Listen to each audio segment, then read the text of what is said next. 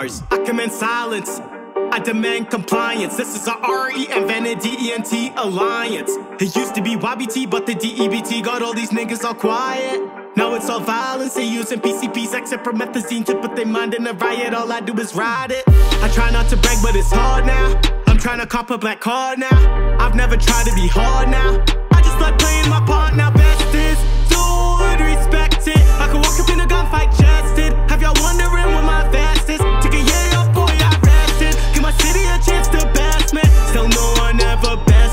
The best kid I'm blessed with. My flow stay uncontested. Apologies to these contestants. No runner ups.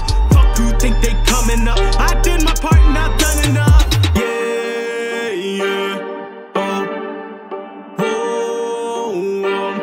oh. Bars.